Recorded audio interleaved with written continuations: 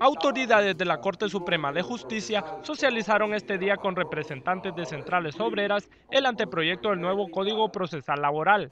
Lo que queremos es tener un documento de avanzada que más bien nos ayude a darle mayor protección, que se fortalezca ese, ese principio protectorio, porque esa es la base de lo que es el derecho laboral y el derecho procesal del trabajo, eso debe ser, que nos ayude a que sea eh, eh, factible hacer eh, proteger esos derechos. Según el secretario de la Federación Independiente de Trabajadores de Honduras, José Luis Baquedano, en estos momentos existe una impunidad, ya que los trabajadores están en desventaja ante el patrono.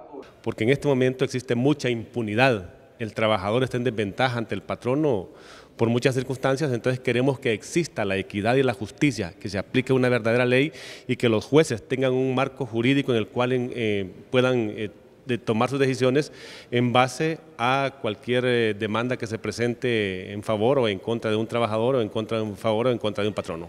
Maquedano agregó que la creación del Código Procesal Laboral beneficiará a la población ya que agilizará los procedimientos.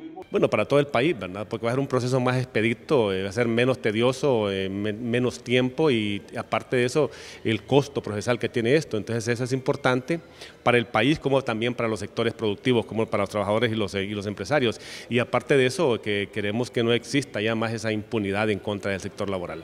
Después de incorporar los criterios del sector laboral y empresarial, lo siguiente será socializar en la ciudad de San Pedro Sula para llegar a un consenso y que este anteproyecto llegue a ser discutido al Congreso Nacional. Desde Notifides le invitamos a fomentar una cultura por la paz con imágenes de Moisés de León, les informó Denis Salgado. El mensaje que recibimos también es que se busca eliminarle funciones claves a la Secretaría de Trabajo.